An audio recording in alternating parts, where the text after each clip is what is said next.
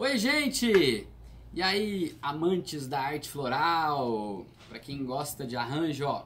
Hoje eu vou ensinar a fazer essa belezura aqui, um buquê de noiva super clássico que você pode fazer, só comprar as flores, treinar, praticar e fazer super simples, tá? A gente usou aqui várias espécies de flores a título de exemplo, então você pode usar essas ou outras espécies, tá? Fica a seu critério. É, no vídeo você vai ver do início até o final várias dicas que eu vou dar em como trabalhar as flores e, enfim, variedade de materiais que você também pode utilizar nesse buquê para fazer ele do início ao final. Então, fica ligado e vamos embora lá aprender.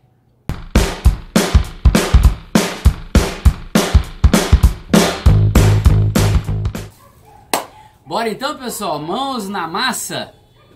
Todos preparados aí? Vamos lá então. Primeiro eu vou apresentar um pouquinho das flores aqui para vocês, ó. Rosa, spray, hortênsias. Essa aqui é a semente de eucalipto.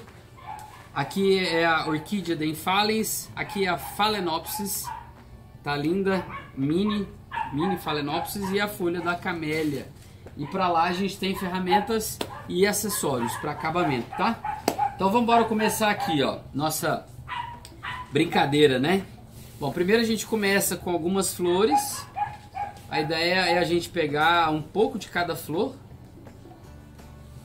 e fazer o início do buquê. Os primeiros talos a gente começa é, com eles, eles vão ficar meio que em paralelo assim, tá vendo? Ó. E aí depois eles vão se abrindo em espiral. Quando a gente fala em espiral, eu já expliquei isso num outro vídeo, é uma técnica universal de confecção de buquês de mão, que é o que eu estou fazendo aqui. Neste caso, esse buquê de mão é um buquê de noiva. Poderia ser um buquê para você dar de presente, tranquilamente, né? O espiral basicamente é o seguinte, é muito simples. Todos os talos de flores eles têm que ir para o mesmo sentido. Nesse caso, eu estou colocando da esquerda para a direita. Então, é muito simples. Né? Todos os talos no mesmo sentido. Se eu coloco o talo desse lado, esquerda para direita, eu estou fazendo certo. Se eu estou indo ao contrário, da direita para a esquerda, ó, tá errado, tá? Eu vou formar uma cruz aqui, ó. Isso depois atrapalha a nossa mecânica, tá? A hortênsia, nesse caso aqui, no buquê de noiva, ela é uma flor que ela ajuda a estruturar o nosso buquê. Então ela ajuda a sustentar as outras flores. Ela ajuda a dar volume no nosso buquê. É um buquê um pouco mais arredondado, então a gente tem essa distribuição de flores e automaticamente, à medida que a gente vai crescendo, o buquê ele vai assumindo uma forma, né? Aí vai do seu gosto, né? Eu particularmente eu gosto de ter algumas saídas no buquê. Eu acho que dá mais leveza, tá? É, tem algumas flores, tá vendo? Ó, que saltam, alguns talos que saltam, né? Do buquê.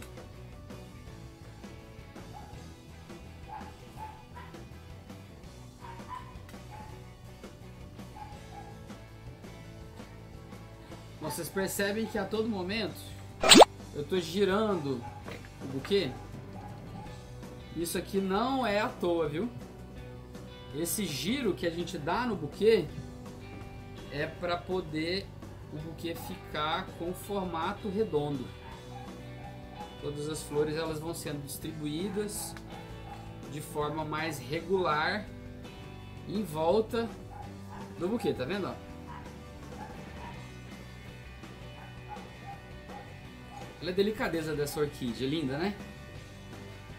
Então olha só, a gente tem já todas as espécies de flores colocadas e aí a gente entra numa sequência de repetição para poder criar esse volume super clássico, né, gente? O branco. Você vai olhar as fotos aí do seu casamento daqui 10 anos, 20 anos, 30 anos. não vai sair de moda. Para quem não me segue nas redes sociais, é, acompanha aí a gente no Instagram, no Facebook, no YouTube. Vou colocar aqui o, o link para vocês poderem acompanhar.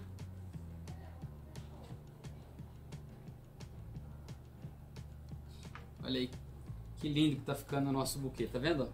E os talos, olha que bacana. Eles vão ficando com esse formato em V, ó. Tá vendo? O mais importante aqui é você aprender a mecânica, a construção do buquê.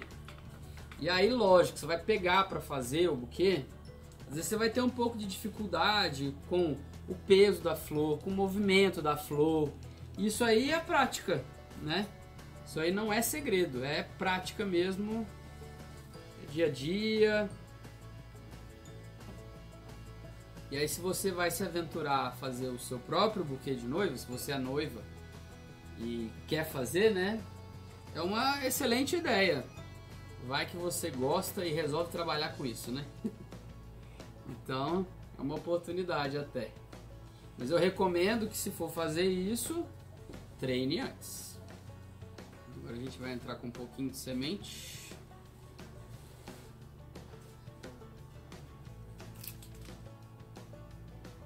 Isso aqui é só para dar um toque mesmo. Não é um elemento obrigatório, vai do gosto. E aliás, assim, se você for fazer, não precisa ser necessariamente essas flores. Podem ser outras, né? O legal é que você tem esses elementos, ó, que saltem do buquê, né? Isso ajuda bastante. Agora, a ideia é cobrir esses talos aqui que estão embaixo do buquê, dar um acabamento melhor com a camélia. Eu gosto muito do brilho dessa folha. Eu acho que ela é muito bonita e combina com a essência mais clássica e elegante desse buquê. E aí, conforme você vai agregando materiais, ele vai ficando um pouco mais pesado na sua mão. Isso é normal, né? Pessoal, esse aqui Fita isolante. Você pode usar braçadeira de plástico, tem muita gente que usa. Eu gosto muito de usar a fita isolante porque ela não cria nenhum relevo, nenhum caroço, sabe? Quando você usa aquela braçadeira de plástico, ela é muito prática, mas ela acaba que incomoda, né? A não ser que você use a braçadeira para fazer uma amarração inicial e aí depois você pode remover a braçadeira e substituir por uma fita. Aí é viável. Não é viável é que ela fique no, no buquê. Isso não é legal. Bom, ó. Eu não vou querer colocar um pé muito grande. Então a gente já vai cortar aqui.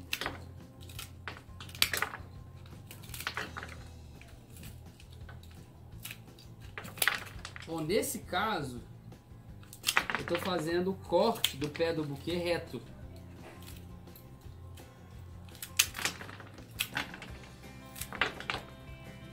Não é exatamente um corte recomendado para você fazer conservação de flores. Pessoal, antes de colocar aqui o, a fita para acabamento, eu gosto de colocar essa fita verde, que é uma fita de papel. Ela tem um pouco de resíduo de, de cola na fita que dá uma certa aderência. E essa fita aqui, ela é muito boa. Tem uma, um truquezinho, né? ela, ela estica um pouco, ó, tá vendo? Ela estica. Então, quando ela estica, Aí é a hora de você fixar na superfície que você quer que ela fique. Se você não fizer isso, com esse movimento aqui da mão, ela acaba esticando e soltando. Então você precisa colocar ela no, no buquê ou na superfície que você quer fazer esse revestimento de forma a colocar ela já esticada, tá? Isso melhora a fixação da fita na superfície que você for usar. Então tá aí, ó. Bora colocar a fita agora. O acabamento do pé, ele é super opcional. Assim, o tipo do material que você usa, né?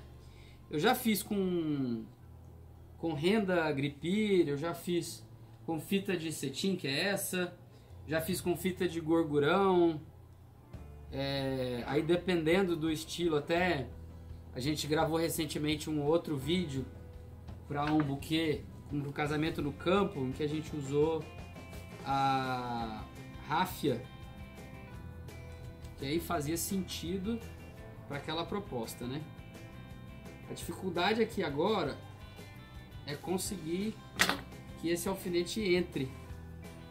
Porque tem muitos talos, tem arame aqui também. Então às vezes se torna um pouco difícil. Bom, tá colocado aqui. Eu não mostrei para vocês, eu viro a ponta da, da fita para justamente não ficar desfiando, tá? Então agora aqui, girar a fita. Vamos lá. E aí, ó, vai girando e vai apertando, ó. Girando e vai apertando. Essa fita tem que ficar bem, bem justa, para ela não soltar também.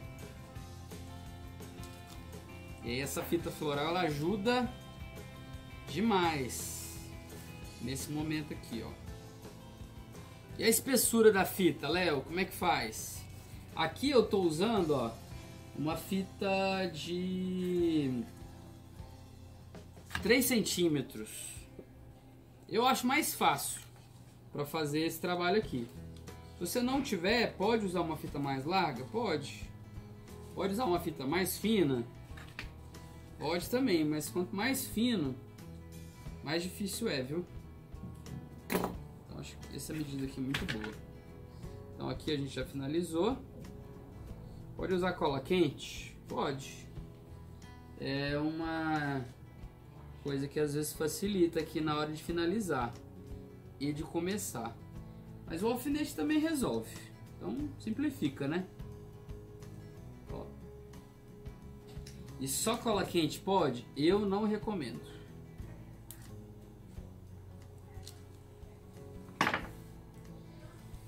Tá pronto o nosso buquê de noiva. Gostaram? Então agora, ó, vamos fazer um paste mágico aqui e vamos limpar a nossa mesa de trabalho. Pronto, minha gente. Tá limpa a nossa mesa. A gente aqui é muito rápido. Nosso buquê de noiva, ó, tá aqui, tá pronto. Muito rico, muitas texturas, é, com um certo movimento, mas mantendo uma forma arredondada, um pouco mais solto, tá? É um buquê de noiva super clássico, fácil de você carregar. E hum, aí. Espero que você tenha gostado dessa aula de hoje.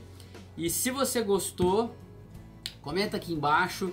Eu quero saber a sua opinião. Se você tiver dúvida, pode perguntar. A gente procura responder a todos os comentários, todas as mensagens que chegam pra gente, tá?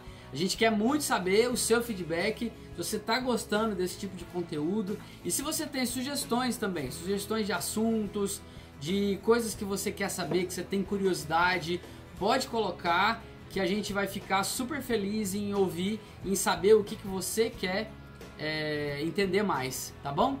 Então é isso aí, gente. Fica ligado e por hoje é só. Muito obrigado.